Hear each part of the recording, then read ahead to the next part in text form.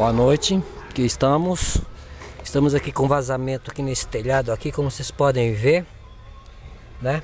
Já foi colocado aqui o pinche. Aqui está. Foi colocado o pinche. Pinche mesmo. É o betume, né? Eu vou raspar tudo bonitinho aqui, ó. Tá cheio de bolor, certo? Fazer uma raspagem bem lá dentro. Ó, como que eu vou fazer o conserto aqui, hein? Porque agora retorna, entra aqui e entra lá para dentro, certo? Vou tirar totalmente o bolor.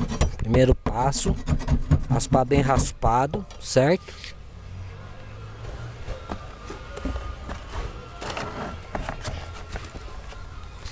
Segundo passo, tirar o esses esse plástico aqui que foi colocado, vou arrancar, levantar ele um pouco, tirar fora, raspa bem raspadinho.